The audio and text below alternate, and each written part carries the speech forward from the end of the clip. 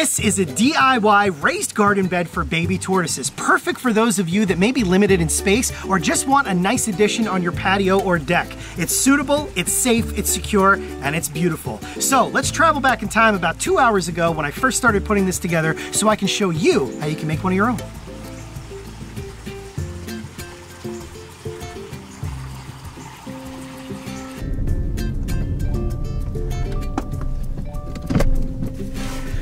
Raising tortoises outside from little babies is absolutely possible, and you don't have to go nuts trying to figure out the best way to do it.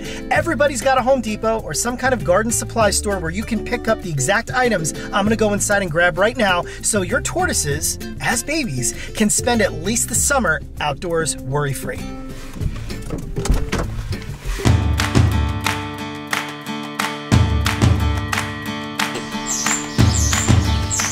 Raised garden beds. Excellent choices for raising outdoor tortoises. So if you don't have an expansive yard or property where you can build all different kinds of pens and you just have a porch or a patio or a deck that you want to set up something nice so your young tortoises can get outdoor time, this is it. This is your option. And speaking of options, there are a lot of them here. They have wooden ones, metal ones, but we're gonna go with this plastic one right here because of the depth of it. This enables me to put enough substrate for live plants and then not have to worry about the tortoises escaping. Um, whereas, you know, something like this is really nice looking, but when it comes down to it, by the time you put the substrate in, you're not gonna have much of a lip left there, and you could be running the risk of losing a tortoise or whatever. So we're gonna go with this one. And what's nice too is this comes up almost 30 inches, so it's gonna be a nice height so that if you have a bad back or you just don't like bending over that much, you can just work at a comfort zone instead of having to bend all the way over keep a closer eye on your animals. Could also keep maybe your dogs out of it if you have problematic dogs. So uh, I think this is a really nice choice. So let's get it, let's get the other supplies and start decorating Lightweight too. So I'm grabbing some perforated raised garden bed fabric because what we're gonna do is create a bioactive setup here. Just like we've done in some indoor enclosures, we're gonna put down a rock layer or lava rock on the bottom, and then we're gonna put this on top so that water can get down through it because you want proper drainage for both the plants and the animals, but you don't want the substrate getting mixed with the rocks and then you end up with a slushy mess. So make sure you grab some of this.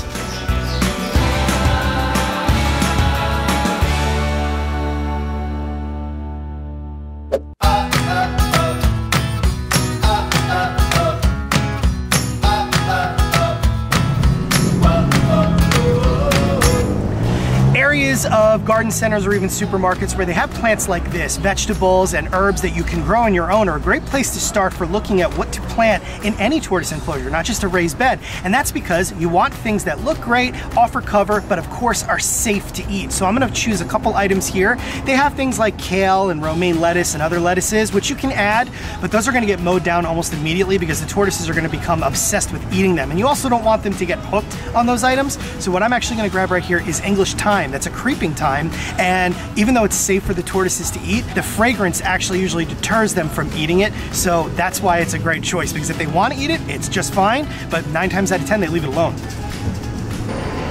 This is creeping thyme, so it's going to creep, which means it's going to create a lot of ground cover for the tortoises to hide under. Very important, especially because tortoises have to be in sunny locations. So let's uh, start with three of them.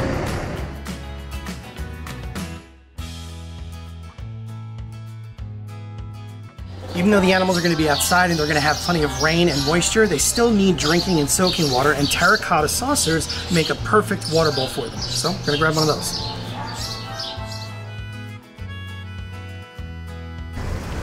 So this whole operation here so far has cost me about 280 bucks, uh, minus the big lettuce pot here, which is for us. Casey wanted that so we can start growing some lettuce. Um, you don't have to spend that much. You know, you could get less plants because these plants are obviously going to take off. But what's nice about them is you could transplant and separate them and use them for other units. So uh, yeah, in my opinion, this is really not bad, and you're going to get a lot of use out of this.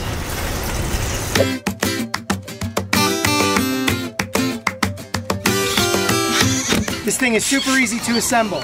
All you have to do is put the legs on. One screw.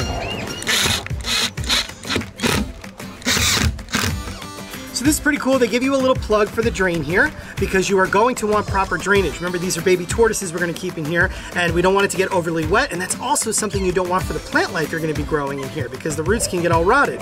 So generally, I would say you don't even need the plug. You can leave this wide open because we're gonna be doing a rock level for drainage as our very first layer.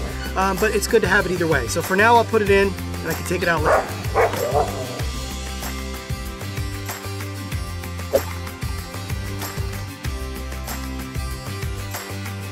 Rocks for a drainage layer, very, very important. And there's all different types of rock or stone that you can use. You can use pea gravel, blue driveway stone, uh, but what I'm gonna use right here is just simple river stone. This is leftover stuff from our aquascape ecosystem when it was being built, so it is a perfect candidate for a drainage layer for this outdoor tortoise raised garden, if you will.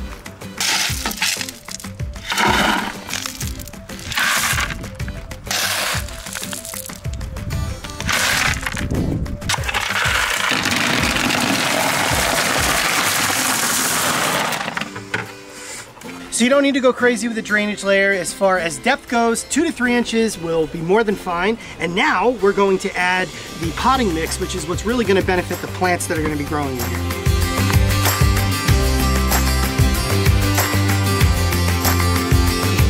This fabric comes in handy because it helps protect the soil and the substrate from getting down into the rock. It's not the end of the world if it does, and this is honestly your choice. You don't have to do it. But if you want it to stay neater and have a little bit more of a flowing system there where the water passes down through the substrate, through the fabric, then through the rock, put this down first. Cut it to size, it's that simple.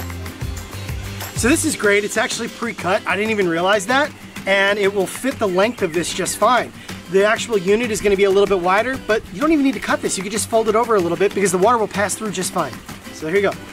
Break it apart. The ingredients in a substrate are gonna be very important and that's why I always choose organic. This is a new brand that I'm using, but I don't expect it to really be any different than any of the other organic brands I've used like uh, Nature's Care, for example. This stuff is great, it's safe for plant and animal, and some of the ingredients that you can look right at on the side of the bag are proof that this is a good substrate. Uh, things like coconut coir and sphagnum moss are within this substrate and that's all beneficial stuff to the tortoises too.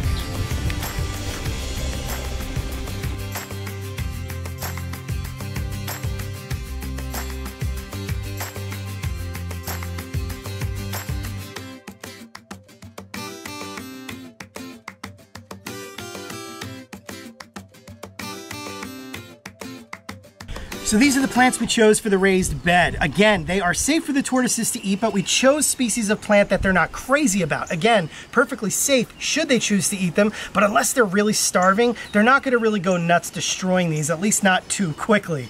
Uh, and the main thing is that they're aesthetically pleasing, as in they're beautiful, and they offer plenty of cover so the animals can feel secure. Remember, no tortoise, no matter what age it is, wants to feel exposed. They wanna be able to expose themselves only when they choose the need to, like to bask for a little bit. Other than that, they like to stay as hidden as possible. They're wild animals at heart, which means that instinct is always gonna take over, and if they feel vulnerable, they're gonna start stressing out, they'll stop eating, and then you've got problems, and then you might end up with a dead tortoise. So we picked calendula, which is a marigold. We picked lavender. We picked creeping phlox. We picked two different types of stone crop. We also picked rosemary and creeping thyme. So let's just go have fun. Let's put them in and see how they look.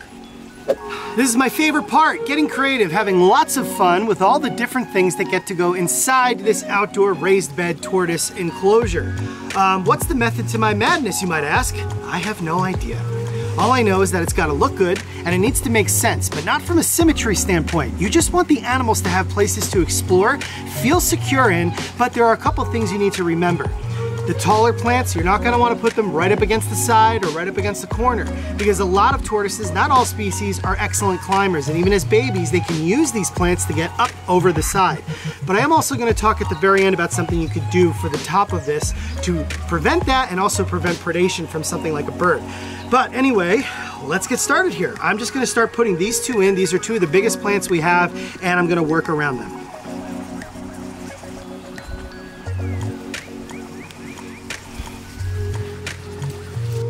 I'm gonna put one other large plant in before I go any further with plants because I'm gonna take a break after this one to do the actual enclosure decor to make sure that it all jives and makes sense. Um, this can go right here. I'm gonna kind of press this one right up against it because in nature, things are gonna grow into each other, right next to each other. They're not gonna exactly worry about giving each other space. All right, so got rosemary right next to these calendulas. I wanna do one of my favorite things first here. Driftwood, staple in any turtle or tortoise enclosure, whether it's an aquatic animal or terrestrial. And what I want this to do is not only just look cool, but I want the animals to be able to use it for refuge. So you see how this is kind of like arced here. The animals can use this to hide under since they're so small. Remember, we're dealing with baby tortoises right now. So what I'm gonna do is, I'm gonna go over here and I'm gonna press it up against this lavender and the tortoises can go underneath the lavender right here and actually use this piece of driftwood as cover. That down in there. God, everything smells so good. but you know, these fragrances that are so appealing to us from these plants are actually not for the tortoises. And that's why they often don't choose to eat these plants even though they're safe for them.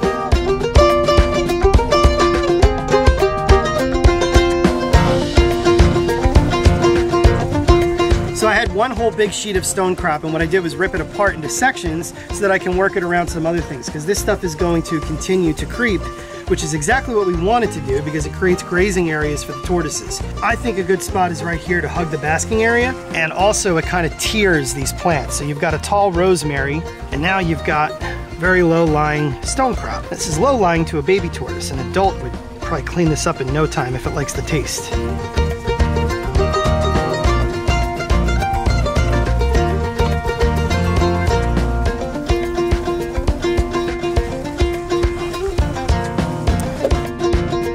One of the most crucial aspects in keeping tortoises properly that I'm sure you've noticed is the common denominator across many videos we do when it comes to tortoise care is no matter the age and no matter the species, they absolutely need access to water. Hydration is important and that's the way they grow smoothest and stay healthiest. Remember, diet is secondary. It's of course crucial to a normal life and growth, but water is something that must be in play at all times. And that's why we use these saucers. That's why we make sure we give them a humid environment. And out here in southern New Jersey through the spring, summer, and fall, it's gonna be plenty humid for any species of baby tortoise, but they still need that drinking water. So always make sure that this is filled with clean water, especially if you notice that a drought is coming and you're not gonna be getting rain for a while. And that it goes for anywhere that you live. They absolutely always have to have water, and it is extra important when they're so small. But before we fill it up, I have to add one more element to this enclosure because this substrate, while it's suitable for moisture, hydration, for the plant roots, and for the tortoises to burrow into, it's not great for traction. So what I wanna actually do is use some of the natural earth here on the southern New Jersey coast, which closely mimics a lot of wild tortoise habitats across the world, so that the tortoises can have a nice naturalistic footing when they move around.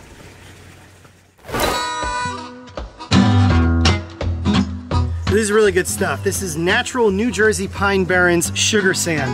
And uh, it's very, very naturalistic for a wide variety of tortoise species, especially the ones that are gonna be going in here. Adds traction, and it's very aesthetically pleasing. When it dries, because right now it's a little bit wet, it actually looks white. And that's where those beautiful white sandy roads that you see in photographs and videos of the Pine Barrens come from. Make sure the rock gets exposed for basking and you can brush that off from time to time if the tortoises are dragging substrate onto it. And remember, sand is a tortoise's friend, not enemy. It's found in all wild tortoise habitats. It's one of the most natural components that they naturally occur on. And if you're feeding the animals properly and not directly off the ground, where sand can constantly get stuck to it, well then you don't have a problem with impaction. Impaction is an age-old, outdated scare at this point in the advances of tortoise keeping really makes no sense. Use it. Here we go, the moment of truth, the moment we've all been waiting for, putting the baby tortoises in. And in this case, we're gonna use this to start rearing outdoors our six baby radiated tortoises that you guys have probably seen in a couple different videos we've done already. These tortoises all hatched here over the winter at Garden State Tortoise from the beautiful adults that get to spend their lives here with us. And this is more than suitable to grow these animals up for at least this summer. Then they can be moved out, and then a new hatch next year could be placed right into this. This enclosure can be used for so many different types of tortoise. In fact, I can't think of one that wouldn't do well in this outdoors, except maybe the Egyptian tortoise if you live in an area that gets too much rain. Regardless, this is more than enough to keep these animals secure, well fed, well hydrated, and for them to get that natural sunlight. But before I put these little guys and girls in, I do want to bring up a very important point, and that is protecting them from predation, protecting them from animals that would not hesitate to eat them, and that includes birds. You can make a lid for this, or you can put fishing line across the top to keep birds from getting in, um, or you can just simply take metal hardware cloth and bend it over the sides so that nothing can get into it. You can also bring the tortoises indoors at night if need be, but if you're going to leave them out and you're not supervising them, you have to do something extra to this, like make a lid or put it somewhere enclosed. You could put this inside a kennel or something that is fully enclosed so that nothing from the top or bottom can get in. Speaking of the bottom, this is why I like the raised beds. Moles are a very big predator of both tortoises and tortoise eggs, and also turtles and turtle eggs.